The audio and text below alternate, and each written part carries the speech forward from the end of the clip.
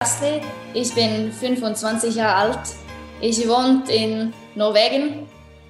Ähm, meine, I don't know, ich liebe Musik. Und Astrid Smeplas ist das neue Aschenbrödel.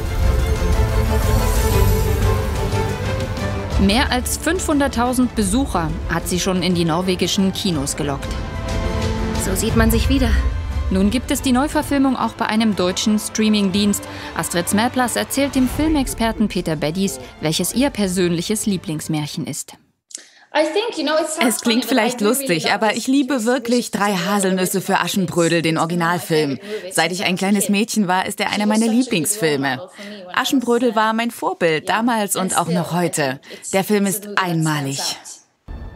Die Neuverfilmung orientiert sich stark am Original von 1973. Filmideen und teilweise ganze Dialoge wurden übernommen. Was ist denn das? Doch nicht etwa eine Einladung zum Ball? Wir wollen den Film ja nicht ersetzen. Wir sind mit großem Respekt an die Sache rangegangen. Du musst so einem Projekt wirklich mit Demut begegnen.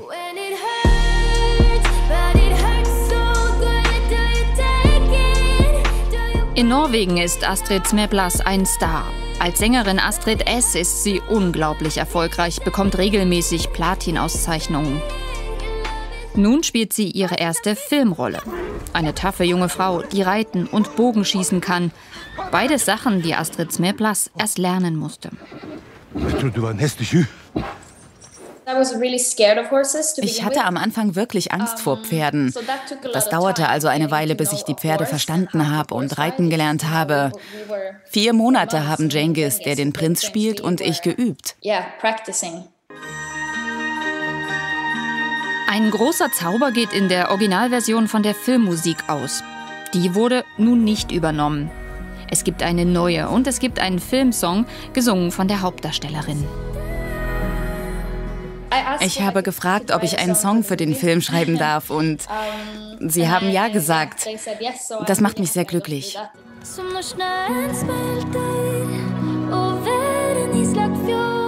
Vielleicht gibt es dieses Lied schon bald auf Deutsch. Astrid Smeblas paukt schon mal fleißig deutsche Vokabeln. Wer letztlich die Herzen der Zuschauer erreicht, das Aschenbrödel im Original oder in der Neuverfilmung, vielleicht muss man sich ja gar nicht entscheiden. Natürlich hat man Libusische Frankova irgendwie. Wir tragen sie alle im Herzen und sie guckt von der Wolke darunter und sagt, Freunde, ihr sprecht mir aus dem Herzen. Ihr habt das richtig toll gemacht.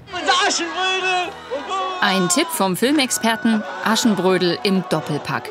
Erst die Version mit Libouge Safrankova und dann die neue mit Astrid Smeplas.